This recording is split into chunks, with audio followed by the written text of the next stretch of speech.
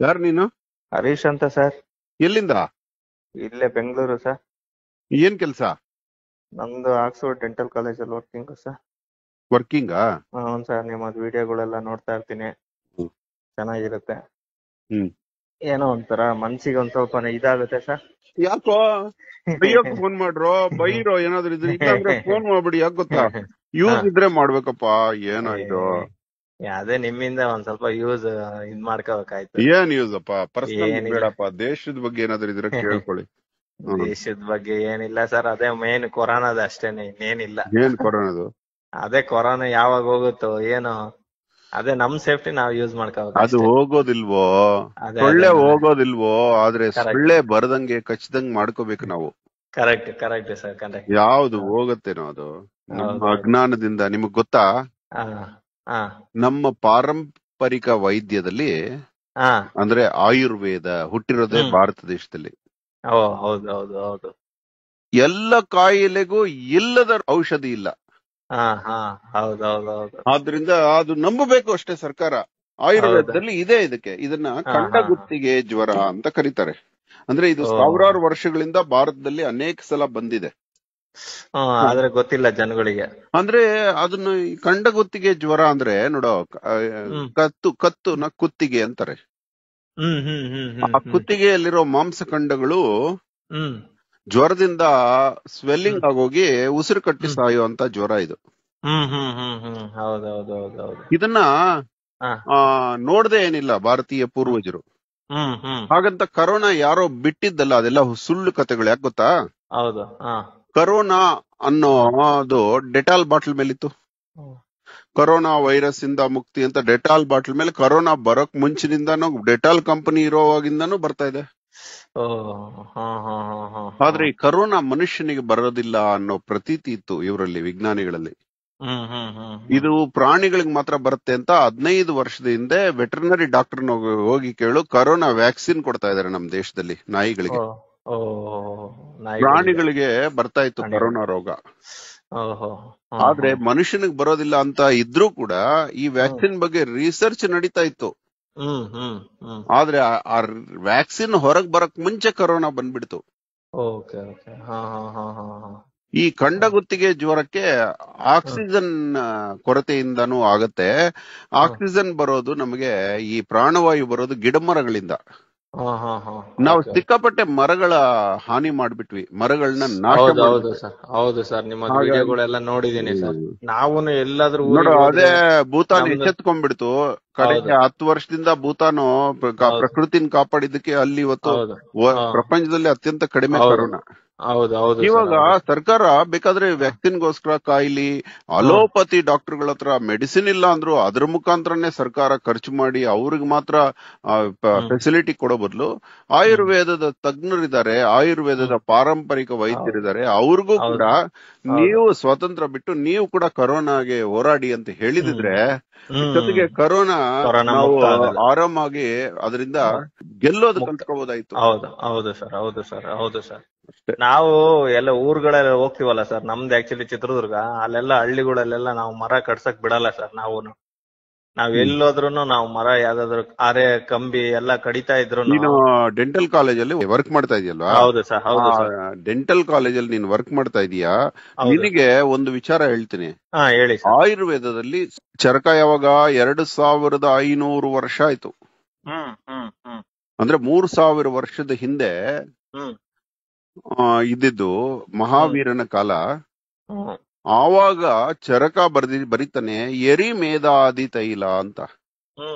ಇವತ್ತಿಗೂ ಆಯುರ್ವೇದದ ಅಂಗಡಿಗಳಲ್ಲಿ ಸಿಗುತ್ತೆ. ಅಟ್ಲೀಸ್ಟ್ ನಿನ್ ಮುಖಾಂತರ ಜನಕ್ಕೆ ಗೊತ್ತಾಗ್ಲಿ. ಎಲ್ಲಾರು ಮನೇಲಿ. ಇಟ್ಕೋಬೇಕು ಇದನ್ನ. ಎರಿ. ಮೇಧಾದಿ ತೈಲ ಅಂತ. ಎಷ್ಟು ಅದೊಂದು ಹತ್ತು ರೂಪಾಯಿ ಇರ್ಬೋದು ಅಥವಾ ಇಪ್ಪತ್ತು ರೂಪಾಯಿ ಇರ್ಬೋದು. ಆದ್ರೆ ಹಲ್ಲಿನ ಯಾವುದೇ ತೊಂದರೆ ಹೊಸಡಿನ ಕಾಯಿಲೆ ಹಲ್ಲು ನೋವು. ಆ ಎರಿಮೇದಾದಿ ತೈಲವನ್ನ ಅದ್ ಹೊಸಡುಗಳಿಗೆ ಹಚ್ಕೊಂಡು ಹಲ್ಲಿಗೆ ಹಚ್ಕೊಂಡು ಹಾಕದ ಮೂ ಹಾಕಿದ ತಕ್ಷಣ ರಿಸಲ್ಟ್ ಶುರುವಾಗತ್ತೆ. ಹೌದಾ ಸರ್ ತುಂಬಾನೇ ಹಲ್ಲು ನೋವು ಹೆರಿಗೆ ನೋವಿಗಿಂತ ಜಾಸ್ತಿ ಹೇಳಿ ಸರ್ ಇನ್ನೊಂದ್ಸತಿ. ಎರಿಮೇದಾದಿ ತೈಲ. ಹಾ. ಇಲ್ಲ ಹ ಎರಿಮೇದ ಎನ್ನುವ ಗಿಡಮೂಲಿಕೆಯ ಆದಿಯಾಗಿ ಅನೇಕ. ಗಿಡಮೂಲಿಕೆಗಳಿರುವಂತಹ ತೈಲ ಅದು. ಇದು ಎಲ್ಲಿ ಸಿಗುತ್ತೆ ಸರ್ ಇದು? ಇದು ಆಯುರ್ವೇದಿಕ್ ಶಾಪ್ ಆಯುರ್ವೇದಿಕ್ ಶಾಪ್ ಅಲ್ಲಿ. ಅಂದ್ರೆ. ಇಂತ ಎಲ್ಲ ರಸವಿದ್ಯೆಗಳಿರುವಂತಹ ಐಶ್ವರ್ಯವಂತ ದೇಶ ನಮ್ದು. ಇದನ್ನ. ಹಚ್ಬಿಟ್ಟು ಹಲ್ಲು ಕೀಳ್ತಾ ಇದ್ರು ಹಿಂದಿನ ಕಾಲದಲ್ಲಿ. ಹೌದು ಹೌದು ಹೌದು ಹೌದು. ಅದರಿಂದ ಇದನ್ನ ಹಚ್ಕೊಳ್ಳಿ. ಮನೇಲಿ ಇಟ್ಕೊಳ್ಳಿ ಎಮರ್ಜೆನ್ಸಿಗೆ ಇನ್ನೂ ಒಂದ್ ಹೇಳ್ಬಿಡ್ತೀನಿ ಕೇಳಿ. ಏಲ ಏಲಾದಿ ತೈಲ ಅಂತ. ಏರಾದಿ ತೈಲ ಏಲಾದಿ ಏಲಾದಿ. ಏಲಾದಿ ಇದನ್ನ ಇಚ್ಕೊಂಡ್ರೆ ನೀವು. ಮಾಂಸ ಕಂಡ ಕಿತ್ಕೊಂಡ್ ಬರೋಷ್ಟು ಗಾಯ ಮೊನ್ನೆ ನಮ್ ಆಗಿತ್ತು ನೋಡಿ ಕ್ವಿಕ್ ಫೆವಿಕ್ವಿಕ್. ಹಾಕ್ಬಿಟ್ಟು ಮೆತ್ಬಿಟ್ಟೆ. ಹದ್ನಾಲ್ಕು ಸ್ಟಿಚ್ ಹಾಕ್ಬೇಕು ಅಂದ್ರು. ಡಾಕ್ಟರ್. ನಾನು ಫೆವಿಕ್ವಿಕ್ ಹಾಕ್ಬಿಟ್ಟು ಹಂಗೆ ಕೊರೋನಾ ಟೈಮ್ ಆಚೆ ಹೋಗೋಂಗಿಲ್ಲ ಅಂತ. ಮನೇಲೆ ಫೆವಿಕ್ವಿಕ್ ಹಾಕಿ ಜೋಡಿಸ್ಬಿಟ್ಟೆ ಅದು. ಇವಾಗ್ಲೂ ಸರಿ ಹೋಗ್ಬಿಟ್ಟಿದೆ. ಅಂತ ಗಾಯಗಳೊಳಗಡೆ ಏಲಾದಿ ತೈಲ ತುಂಬಿ ಬಿಡ್ಬೋದು. ಹಾ ಹಾ ಹಾ ಹಾ ಹಾ. ಒಂದ್ಸಲ ಒಂದು ಕರುಗೆ ಹಾ. ಆಕ್ಸಿಡೆಂಟ್ ಆಗೋಗಿ ನನ್ನ ಅಂಗೈ ಹೋಗುವಷ್ಟು ಗಾಯ ಆಗೋಗಿತ್ತು. ಹಾ ಹಾ ಹಾ. ಅದು ಯಾವ್ದೋ ದೇವಸ್ಥಾನದ ಕರು. ಹ್ಮ್ ಹ್ಮ್. ದೇವಸ್ಥಾನದ ಸ್ವಾಮೀಜಿ ಇದಾರಲ್ಲ ಅವ್ರ ಯಾರೋ? ಅವ್ರು ಅವ್ರ ಹತ್ರ ನೀವ್ ಏನ್ ಮಾಡ್ತಿರೋ ಗೊತ್ತಿಲ್ಲ ನಂಗೆ ಸರಿ ಮಾಡ್ಬೇಕು ಈ ಕರು ನೋಡಕ್ ಆಗ್ತಿಲ್ಲ ಅಂದ್ರು. ಇಮ್ಮಿಡಿಯೇಟ್ಲಿ ಏಲಾದಿ ತೈಲ ಒಂದು ಬಾಟಲ್ ತರಿಸ್ಬಿಟ್ಟು ಅದ್ರೊಳಗೆ ಸುರಿದು ಬಿಟ್ಟೆ. ಏಯ್ ಮೂರ್ ಹಾ. ದಿವಸದಲ್ಲಿ ರೆಡಿ ಆಗೋಯ್ತದು. ಓ ನೋಡಿ ಸರ್ ಹಿಂಗೆ ಅನೇಕ ವಿಚಾರಗಳು. ಆಯ್ತು. ಇಡ್ಲಿ ನಾವು ಫೋನ್ ಜಾಸ್ತಿ ಆಯ್ತು. ಇಲ್ಲ ಇಲ್ಲ ಸರ್ ಈಗ ನಮ್ಮ ಮಗಳದೊಂದು ಯಾವಾಗ. ನೀನ್ ಪರ್ಸನಲ್ ಕೇಳಿದ್ರೆ ನನಗೆ ಬೇಡ. ನಾನು ಈ ವಿಡಿಯೋ ಹಾಕ್ತೀನಿ.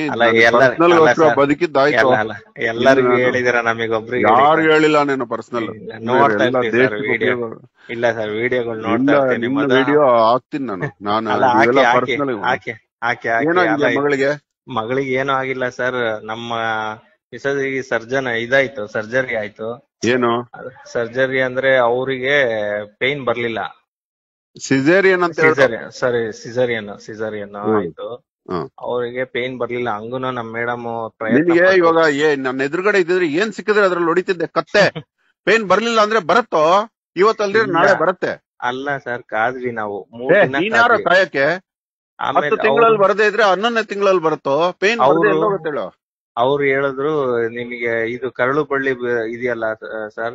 ಹೋಗ ನನ್ನ ಹತ್ರ ಮಾತಾಡ್ಬೇಡ್ರ ನೀವು ಸುಮ್ನೆ ಎಲ್ಲಾರ ಹತ್ರ ಅಲ್ಲ, ಡಾಕ್ಟ್ರೇ- ಬೈಸಕ್ಕೆ ನೀವು. ಅಲ್ಲ ಡಾಕ್ಟರ್ ಹೇಳಿದ್ದನ್ನ ನಾನು ಹೇಳ್ತಾ ಇದೀನಿ ಅಷ್ಟೇನೆ. ನೀನ್ ನನ್ನ ಹತ್ರ ಯಾಕೆ ಹೇಳ್ತೀಯ? ಅವ್ರ ಹತ್ರ ಹೋಗಿ ಕೇಳ್ಕೊ.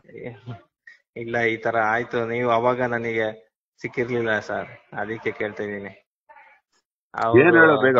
ಅದೇ ಕರಳು ಬಳ್ಳಿ ಸುತ್ಕೊಂಡ್ಬಿಟ್ಟಿತ್ತು ಅಂತ ಹೇಳಿದ್ರು. ಈಗ ತೆಗಿಯೋದ್ ಕಷ್ಟ ಇದೆ.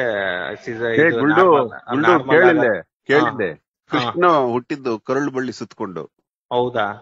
ಕೃಷ್ಣ ಶ್ರೀಕೃಷ್ಣ ಅದಕ್ಕೆ ಕಂಸ ತತ್ತ ಅಂತೇಳಿ ಅವತ್ತಿಂದ ಕರುಳು ಬಳ್ಳಿ ಸುತ್ಕೊಂಡವ್ರಿಗೆ ಮೇ. ಸೋದರ ಮಾವನಿಗೆ ತೊಂದರೆ ಅಂತ ಪ್ರತೀತಿ ಬಂದಿದ್ದು. ಕರುಳು ಬಳ್ಳಿ ಸುತ್ತಕೊಂಡ ಸುತ್ಕೊಂಡ ತಕ್ಷಣ ವೀರ ಪರಾಕ್ರಮಿ ಕೃಷ್ಣ ಒಳಗಡೆಯಿಂದಾನೆ ಹೋರಾಡ್ಕೊಂಡು ಬಂದ. ಕರುಳು ಬಳ್ಳಿ ಹೆಂಗಿರುತ್ತೆ ನೋಡಿದ್ಯಾ ನೀನು? ಇವೆಲ್ಲ ಹಿಂಗೆ ಅಜ್ಞಾನದಲ್ಲಿ ನಿಮ್ಮನ್ನ ಸುತ್ತಾಕ್ಬಿಡ್ತಾ ಇದಾರೆ. ಕರುಳು ಬಳ್ಳಿ ತಂದೆ. ಮುಟ್ಟಬೇಕಂತೆ ಅಂದಿನ ಕಾಲದಲ್ಲಿ ಆ ಕರುಳು ಬಳ್ಳಿನ ತಂದೆನೆ ಎತ್ಕೊಂಡೋಗಿ ಹುತ್ತದಲ್ಲಿ ಹಾಕ್ತಿದ್ದ. ಅದನ್ನ ಮುಟ್ಟಿದ್ರೆ ನಿನ್ ಗೊತ್ತಾಗತ್ತೆ. ಹತ್ತಿಗಿಂತ ಹತ್ತಿಗಿಂತ ಮಧುರ ಅದು. ಅದು. ನಿನ್ ಕತ್ತಿಗೆ ಸುತ್ತಿ ನೇಣ ಹಾಕಿದ್ರು ನೀನ್ ಸಾಯಲ್ಲ. ಅವರು ಡಾಕ್ಟರ್ ಈ ತರ ಹೇಳಿದ್ರು. ಆಯ್ತು ಅದು ಅದು ಅದು ಅತಿ ಮಧುರವಾದದ್ದು ಕರುಳು ಬಳ್ಳಿ ಅದ್. ಸುತ್ಕೊಂಡ್ರೆ ಸತ್ತೋಗ್ತಾರೇನ? ತಾಯಿಗಿಂತ ತಾ ಬಾಂಧವ್ಯ ಕೊಡತ್ತೆ. ಅನ್ನ ಕೊಡೋದು ಪ್ರಾಣ ತೆಗಿಯತ್ತೇನ? ಅನ್ನ ಕೊಡೋ ಬಳ್ಳಿ ಅದು ಕರುಳು ಬಳ್ಳಿ ಅದು ನಮಗ್ ಗೊತ್ತಿರ್ಲಿಲ್ಲ ಅವ್ರು ಹೇಳಿದ್ದು ನಾವ್ ನಂಬಬೇಕು ಆಯ್ತು ಏನ್ ಇವಾಗ? ಅದೇ ಇದು ಕಿಡ್ನಿ ಒಂದ್ ಸ್ವಲ್ಪ ಸ್ವೆಲ್ಲಿಂಗ್ ಬರ್ತಾ ಇದೆ ಅದು ಅವ್ರಿಗೆ. ಸಿಸೇರಿಯನ್ ಯಾರ್ಗೆ? ಆ, ಮಗುಗೆ ಮಗುಗೆ. ಮಗುಗೆ ಕಿಡ್ನಿ ಸ್ವೆಲ್ಲಿಂಗ್ ಇದೆ ಅಂತ ಹೇಳ್ತಾ ಇದಾರೆ ಡಾಕ್ಟರ್ ಅದು ಏನಾಗಿರೋ ಸ್ವಲ್ಪ ದಿನ ಮಗುಗೆ ತೊಂದ್ರೆ ಆಗತ್ತೆ. ಯಾಕೆ ಗೊತ್ತಾ? ಸಿಸೇರಿಯನ್ ಟೈಮಲ್ಲಿ ಹಾ. ಸಿಕ್ಕಾಪಟ್ಟೆ ಪ್ರೆಷರ್ ಕೊಟ್ಟೋಗುತ್ತೆ ಮಗು. ಇದೇನಿದು? ನಾನು ದಾರಿಲಿ ಆಚೆ ಬರ್ತಾ ಇದ್ರೆ ಇವರು ಚಾಕು ಚೂರಿ. ಆಗ್ತಾ ಇದಾರೆ ಅಂತ ಭಯ ಬಿದ್ಬಿಡುತ್ತೆ. ಇದು. ಅಮೆರಿಕಾದಲ್ಲಿ ನಡೆದ ರಿಸರ್ಚ್ ಇವೆಲ್ಲ. ಗೂಗಲ್ ಮಾಡಿ ಗೊತ್ತಾಗತ್ತೆ. ಆ. ಚಾಕು ಬಂದ ತಕ್ಷಣ ಅದು ವಿಲ ವಿಲ ವಿಲ ವಿಲ ಒದ್ದಾಡ್ಬಿಡುತ್ತಂತೆ ಪ್ರಾಣಿ. ಅದಕ್ಕೆ ಅದು ಹೊರಗಡೆ ಬಂದ್ರು ನಿದ್ದೆಲ್ ಕೂಡ ಉಚ್ಚೆ ಮಾಡ್ಕೊಳ್ತಾ ಇರುತ್ತೆ ಮಗು. ಇದೇನಿದು ನಿನಗೆ ಒಂದು ಕೋಣೆಲ್ ಹಾಕ್ಬಿಟ್ಟು ಈ ಮಯೂರ ಪಿಕ್ಚರ್ ನೋಡ್ ಗೊತ್ತಾಗುತ್ತೆ. ಮಯೂರ ಪಿಕ್ಚರ್ ಅಲ್ಲಿ ಮಯೂರ ನ ಒಂದು ಬುಟ್ಟಿಲಿ ಬಚ್ಚಿಟ್ ಬಿಡ್ತಾರೆ ಅದ್ರ ಮೇಲೆ ಮಣ್ಣು. ಹಾಕ್ಬಿಡ್ತಾರೆ. ಹೊರಗಡೆಯಿಂದ ಚಾಕುಲ್ ಚುಚ್ತಾ ಇರ್ತಾರೆ. ಅದ್ರಲ್ಲಿ ಆ- ತಪ್ಪಿಸ್ಕೊಳ್ಳೋ ಸೀನ್ ಸೇಮ್ ಗರ್ಭದಲ್ಲಿರೋ ಮಗುಗೆ ಅದೇ ಪರಿಸ್ಥಿತಿ. ಇವ್ರು ಆಚೆಯಿಂದ ಚಾಕು ಹಾಕಿದಾಗ ಅದು ವಿಲ ವಿಲ ಒದ್ದಾಡ್ಬಿಡುತ್ತೆ. ಅದು ಭಯ ಬಿದ್ದು ಬಿಡುತ್ತೆ ಮಗು. ಅದಕ್ಕೆ ರಕ್ತ ಪ್ರೆಷರ್ ಆಗೋಗಿ ಹಿಂಗೆ ಕಿಡ್ನಿ ಇದೆಲ್ಲ ಸ್ವಲ್ಪ ಡ್ಯಾಮೇಜ್ ಆಗುತ್ತೆ. ಆದ್ರೆ ಅದ್ರ ಕ್ಯೂರ್ ಆಗ್ಬಿಡುತ್ತೆ. ಅದಷ್ಟಕ್ಕದೇ ಕ್ಯೂರ್ ಆಗ್ಬಿಡುತ್ತೆ. ಹತ್ತು ವರ್ಷದ ಮಗು ಆಗೋಷ್ಟೊತ್ತಿಗೆ ಫುಲ್ ಸ್ಟ್ರಾಂಗ್ ಆಗ್ಬಿಡುತ್ತೆ ತಲೆ ಕೆಡ್ಸ್ಕೊಬೇಡ. ಹೌದಾ? ಅದೇ ಅವಳು ಬೆಳವಣಿಗೆ ತೆಳ್ಳಗಿದ್ದಾಳೆ. ಹೌದೌದೌದೌದು. ಕಿಡ್ನಿ ಯಾಕಪ್ಪ ಅಷ್ಟು ಅರ್ಜೆಂಟು ನೀವು ಹೋಗ್ರಾ ನೀವು? ಹೋಗ್ರಾ ನೀವು ನಿಮ್ಮನ್ನ ನೋಡಿದ್ರೆ ಕೋಪ ಬರ್ತದೆ ಹೋಗ್ರಾ ಇಲ್ಲ ಸರ್ ನಿಮ್ ಜೊತೆ ಮಾತಾಡ್ತಾರ ಇರೋದೇ ಮಾತಾಡ್ತಾನೆ ಇರ್ಬೇಕು ಅನ್ಸುತ್ತೆ. ಅಷ್ಟು ಇದು ಇದೀರ ಹೋಗ್ರೋ ನೀವು. ನೋಡ ನಾ ಅಹುರಾತ್ರ ಮಣ್ಣು ಮುಟ್ಟಿ ಹೇಳ್ತಾನೆ.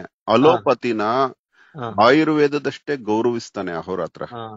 ಅಲೋಪತಿ ಕೂಡ ಕೊಟ್ಟಿರೋ ಕೊಡುಗೆ ಅಪಾರ. ಆದ್ರೆ ಅದರಲ್ಲಿ ರಕ್ತ ಪಿಪಾಸುಗಳ ಹಾಗೆ ಈ ತಿಗಣೆಗಳ ಹಾಗೆ ಸೇರ್ಕೊಂಡಿದ್ದಾರೆ ಕೆಲವರು ಡಾಕ್ಟರ್ಗಳು. ಅವರು ಮಾಡ್ತಾ ಇರೋ ಅನಾಹುತದಿಂದ ಹಿಂಗ ಆಗ್ತಾ ಇದೆ. ಇಲ್ಲ ಅಂದ್ರೆ ಅಲೋ ಅಲೋಪತಿ ಕೂಡ ಆಯುರ್ವೇದದಷ್ಟೇ ಮೇರು ವಿದ್ಯೆ ಅದು ಅದರಲ್ಲೂ ಇವತ್ತು ತಪಸ್ವಿಗಳಾಗಿರುವಂತ ಡಾಕ್ಟರ್ಸ್ ಇದಾರೆ ಇಲ್ಲ ಅಂತ ಆದ್ರೆ ಒಂದು ವಿಷಯಗಳಲ್ಲಿ ಎದುರಿಸ್ಬಿಡ್ತಾರೆ ಆದ್ರೆ ಆಯುರ್ವೇದದಲ್ಲೂ ಕೆಟ್ಟವರಿದ್ದಾರೆ. ಹೌದೌದು ಯುನಾನಿಯಲ್ಲೂ ಕೆಟ್ಟವರಿದ್ದಾರೆ. ಎಲ್ಲದರಲ್ಲೂ ಒಳ್ಳೆಯವರಿದ್ದಾರೆ. ಜ್ಯೋತಿಷ್ಯದಲ್ಲೂ ಮಹಾ ಪ್ರಚಂಡ ಕೆಟ್ಟವರಿದ್ದಾರೆ. ಯಾವ ವಿದ್ಯೆಯಲ್ಲಿ ತಪ್ಪು ಮಾಡಿದವರು ಇಲ್ದೇ ಹೌದು. ಇದಾರೆ ಹೇಳು. ಹಾಗಾಗಿ ವಿದ್ಯೆನ ಗೌರವಿಸ್ಬೇಕು. ಆದ್ರೆ ವಿದ್ಯೆಯಲ್ಲಿ ಆಗ್ತಾ ಇರುವಂತ ಈ ಪ್ರಚಂಡ ಕೆಟ್ಟ. ಗುಣಗಳನ್ನ ನಾವು ತೊಳಿ ತುಳಿದು ಎದ್ದು ನಿಂತ್ಕೋಬೇಕು. ಮತ್ತೆ ಸ್ವಯಂ ವೈದ್ಯ ಕಲ್ತ್ಕೋಬೇಕು. ಅಟ್ಲೀಸ್ಟ್ ಪ್ರೆಗ್ನೆನ್ಸಿ ಮಾಡುವಂತಹ ತಂದೆ ತಾಯಿಗಳು ಪ್ರೆಗ್ನೆನ್ಸಿ ಬಗ್ಗೆ ಓದ್ಕೊಳ್ಳಲ್ಲ ಈ ಗೂಗಲ್ ಜಮಾನದಲ್ಲಿ ಅಂದ್ರೆ ಇದು ಅಂಧಕಾರ. ಓದ್ಕೋಬೇಕು ನೀವು. ಏನೋ ಹಿಂದಿನ ಕಾಲದಲ್ಲಿ ಹದ್ನಾಲ್ಕ್ ಹದಿನೈದು ವರ್ಷಕ್ಕೆ ಮದ್ವೆ ಮಾಡ್ತಿದ್ರು ಅವಾಗ ಏನೋ ಗೊತ್ತಿಲ್ಲಪ್ಪ ಇವಾಗ. ಕತ್ತೆಗ್ ಬಂದಂಗ ವಯಸ್ಸು ಬಂದಿರುತ್ತೆ ಮೂವತ್ ವರ್ಷಕ್ಕೆ ಮದ್ವೆ ಮಾಡ್ತಾರೆ ಆದ್ರೂ ಗೊತ್ತಿಲ್ಲ ಅಂದ್ರೆ? ಅದೇನೆ ಕಷ್ಟ. ಹೌದು. ಎಲ್ಲ ನೋಡ್ಕೊಂಡು. Okay. Thank you thank you sir ಹಾಕ್ತಾ ಇದೀನಿ ಇದನ್ನ.